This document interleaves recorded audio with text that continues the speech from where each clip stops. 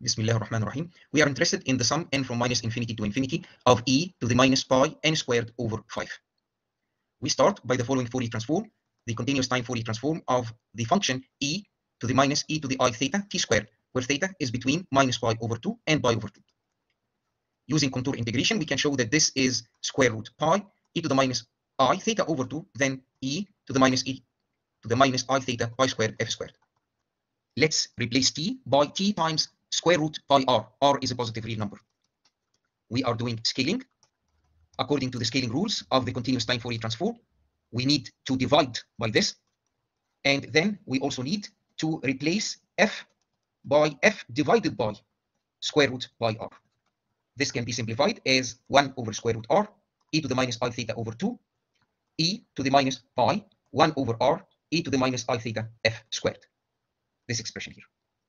Now we have a Fourier transform pair. Let's apply the Poisson summation formula. If g of t has a continuous time Fourier transform, big G of f, then summation g of n, where n is an integer, is equal to summation of big G of n, where n is an integer. So let's do here. We will take this and replace t by n, and we do the same here. We replace f by n to get the other side.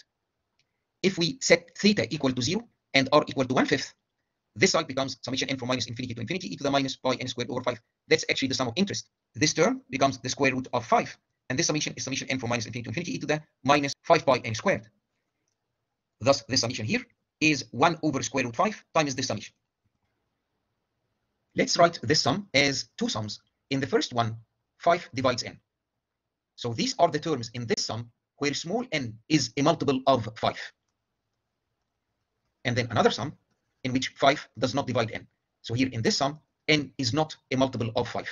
Sum here has the terms n equal to 0, plus or minus 5, plus or minus 10, and so forth. We can rewrite this summation as summation n from minus infinity to infinity, and we replace this n here by 5n. This becomes summation n from minus infinity to infinity e to the minus 5 pi n squared.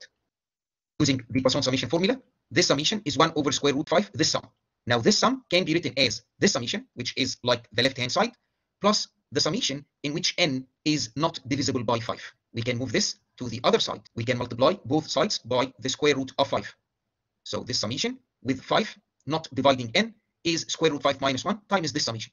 And this summation is 1 over square root 5 times the sum of interest. Thus, this summation of e to the minus pi n squared over 5, where n is not divisible by 5, is 1 minus 1 over the square root of 5 times the sum of interest. Let's go back here to this equality derived using the Poisson summation formula. Apply Euler everywhere. e to the i theta is cosine theta plus i sine theta.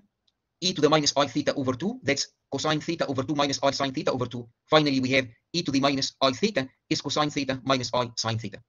The summand here can be written as e to the minus pi r n squared cosine theta, e to the minus i pi r n squared sine theta. Using Euler, this is cosine pi r n squared sine theta minus i sine pi r n squared sine theta. We do the same here in this other sum. We will get just a plus sign. Take the real part of both sides. If we do this on the left-hand side, we end up with summation n from minus infinity to infinity e to the minus pi r n squared cosine theta, and then cosine pi r n squared sine theta. Now on the right-hand side, we have this is a complex quantity, and this is a complex quantity. So the real part will come from this times this, and there will be another term in which we take this sine theta over 2 times sine pi over r n squared sine theta. We have one term on the left-hand side, and we have two terms on the right-hand side. Let's now make a strategic selection of the values of theta and r. Let's look here. We have sine pi over r n squared sine theta. If sine theta divided by r is equal to 2, this is sine 2 pi n squared. Sine 2 pi times an integer, that's 0. And this summation here goes away. Also, this cosine here, we have sine theta over r. If it's 2, then this is cosine 2 pi n squared, that's 1. The right-hand side is simplified to 1 over square root r cosine theta over 2, and then we have just a single sum e to the minus pi over r n squared cosine theta. Let's try to make this sum something that we already know. If we choose cosine theta divided by r to be equal to 1, this summation is summation n from minus infinity to infinity e to the minus pi n squared. There is another video dedicated to this sum. It is equal to gamma of 1 over 4 divided by 2 to the 1 half times pi to the power 3 over 4. By choosing cosine theta over r to be 1, we now know what this summation is. Sine theta over r is chosen to be 2 so that this is 0 and this is 1. So sine theta over r is 2. Now we are saying let cosine theta over r be equal to 1. By doing this, this becomes a known summation. If we have these two relations, then sine squared theta is 4r squared, and cosine squared theta is equal to r squared. Sine squared theta plus cosine squared theta, that's unity, is equal to 5r squared. In this case, r is 1 over square root 5. If r is 1 over square root 5, then cosine theta is 1 over square root 5, and sine theta is 2 over square root 5. If we take the values of r, cosine theta, and sine theta and use them, so here this r is 1 over square root 5. This cosine theta is another 1 over square root 5. This is e to the minus pi n squared divided by 5. This is exactly the term that we have in the summation of interest. However, there is an extra cosine here. Our summation is not just the exponential, but the exponential times cosine 2 pi over 5 times n squared. This is the situation on the left-hand side. On the right-hand side, we now know this summation.